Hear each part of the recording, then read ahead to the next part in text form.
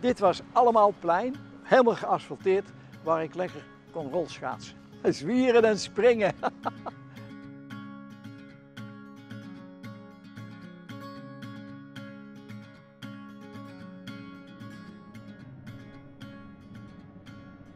Ik ben Wessel, geboren 7 oktober 1930 en ik ga vandaag een reis maken naar Utrecht en da- daar voel ik mij ook het meest thuis.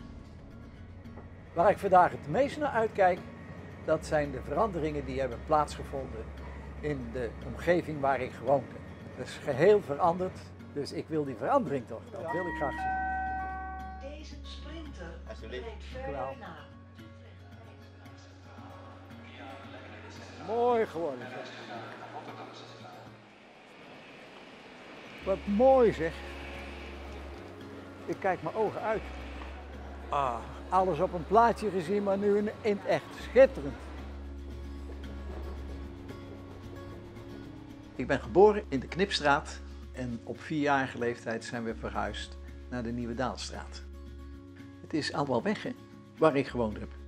Ik heb nog vlak voordat de huizen in de Nieuwe Daalstraat werden afgesloten, heb ik daar nog een foto van kunnen maken. Hier woonden we dus. Dat was een behoorlijk groot huis. Hier beneden was de slager en de kruidenier, de melkboer. De Nieuwe Daalstraat die liep helemaal daardoor. Het is eh, totaal veranderd. Allemaal kantoren. En ook al zijn de gebouwen nog zo mooi, ze zijn niet meer mijn roots.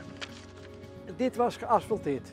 En dit was allemaal plein helemaal geasfalteerd, waar ik lekker kon rolschaatsen. Zwieren en springen. In de volksbuurt, daar werd echt het platte Utrechts gesproken. Jochie, achterlijke radiool. Ik kwam bijvoorbeeld thuis en dan zei ik tegen mijn moeder, ik zei. Nee, Wessel, ik zei. Ik voelde me toch altijd aangetrokken tot die groep. Dat, was, dat vond ik stoer. En daar wilde ik bij horen. De liefde voor de stad is er nog steeds. Ik heb de hele geschiedenis van de stad bestudeerd. En later ben ik stadswandelingen gaan verzorgen voor groepen. Kijk hoe prachtig ze dat gebouw hebben opgeknapt.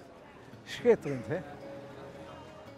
Als ik met mijn vader in de stad liep, dan zei hij altijd: Wessel, kijk niet naar die etalages, maar kijk naar boven. Kasteel van Antwerpen, Schinkelenborg, Blankenborg, dat was dus wat mijn vader mij op attent maakte. Blijf omhoog kijken, dan zie je de stad op zijn mooist.